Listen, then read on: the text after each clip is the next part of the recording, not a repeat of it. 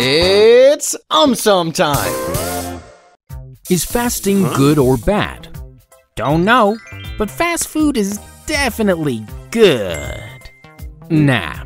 Although fasting as a religious practice ah. has been a part of our lives for centuries, but nowadays, fasting is hmm. seen as an effective tool for weight loss. Hmm. Now, researchers suggest that if done in the right way, fasting can be beneficial. For example, the food we eat is broken down to produce a sugar called glucose.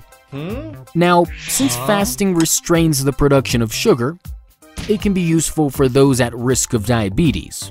Besides this, studies claim that fasting prevents cancer and improves heart health. However, researchers also suggest that it is not safe for hmm. everyone. For example, diabetic patients take medications to lower their blood sugar. Ah. So, fasting in such cases can further drop the blood sugar oh. to a much lower level, which can be fatal.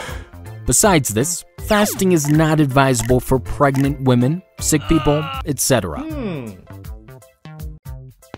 Why does airplane food taste bad? I don't know. Wait, I'll explain.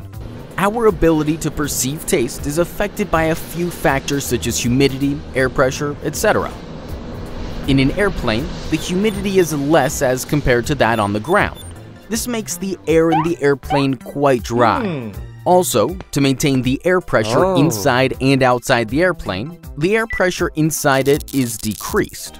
Decreased air pressure and dry air dries our nose and mouth. Dry nose cannot properly smell odors. Yeah, dude. I'm not able to smell the burger. Now, smell of food helps us to understand the flavor and ingredients of the food.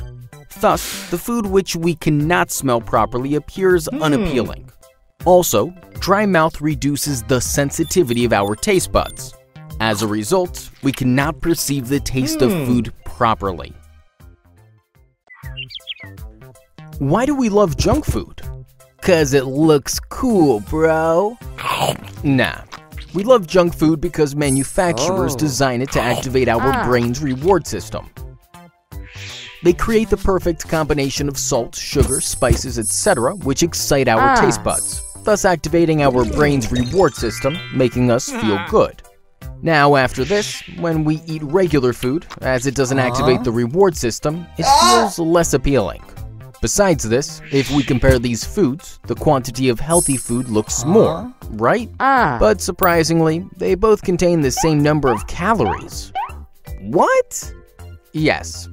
Now, since healthy food also contains fiber and water, they add up to the volume, thus filling our stomach.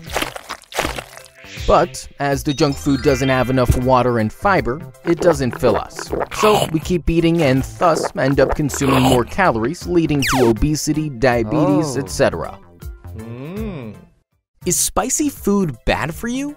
Obviously, because whenever I eat spicy food, my mouth seems to be on fire. This is because spicy food generally contains chili peppers. Chili peppers have a chemical called capsaicin. When capsaicin comes in contact with our tongue, it activates the heat sensing receptors instead of our taste buds. As a result, our brain thinks that our mouth is on fire. So, shall I call the fire brigade? Oh, just listen. Capsaicin present in spicy food is not necessarily bad for everybody. Only those people who have a low tolerance level or don't have a habit of eating spicy food can experience some problems like burning mouth, irritation of the stomach lining, heartburn, etc.